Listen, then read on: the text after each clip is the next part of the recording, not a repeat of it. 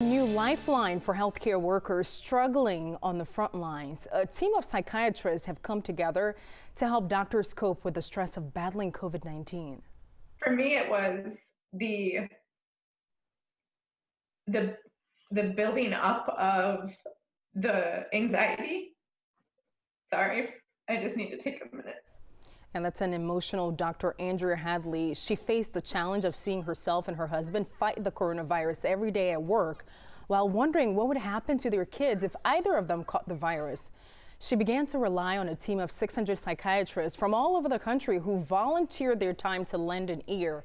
In five weeks, they've had more than 300 calls, but they hope to spread the word and get even more calls from doctors who are in distress and need an ear people were starting to say is, is anybody else feeling a lot of anxiety um, about going into work? Am I going to give it to my family and my friends?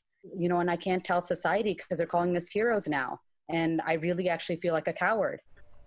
And starting Monday, the helpline will be available seven days a week except during the overnight hours.